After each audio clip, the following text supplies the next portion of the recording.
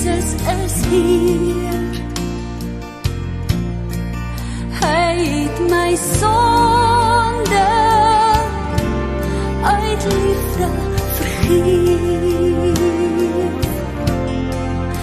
Ek was verlore,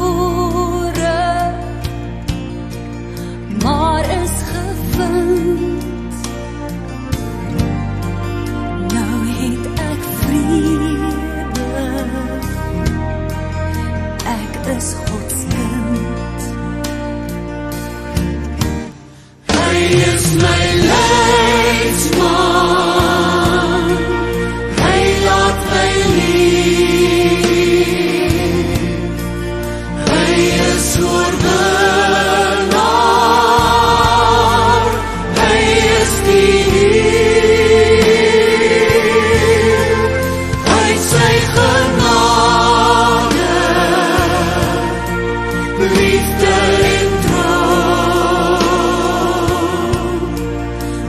Weet ons hoe God sy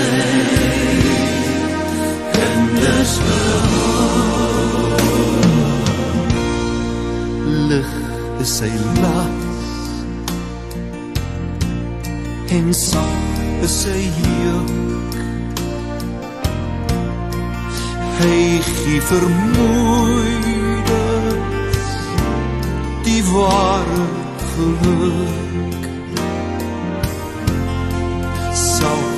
as ek struikel en dit berou Hy sal vergewe. Hy bly